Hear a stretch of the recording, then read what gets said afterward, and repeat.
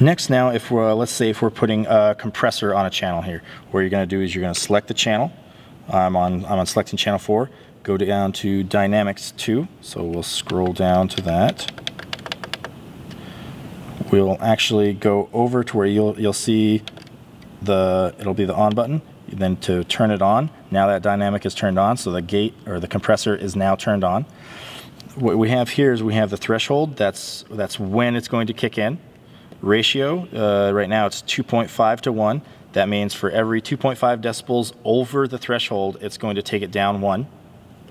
The attack, that's how, how quickly the compressor is actually kicking in. Uh, release, that's when it'll, it'll release and it'll go back to the normal that's, go, that's going out. You can actually boost the gain if you want to. Usually we don't. And the knee is actually how hard is the, the angle at which how hard and how fast it's actually kicking in. So usually you want to use a soft knee like that'll have a little bow to it coming up.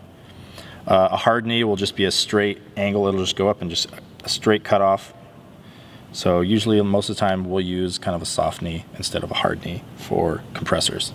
So but if, if you, like we said before, if you press the button, everything will pop up here off the, the dynamic button. Everything will pop up that you want.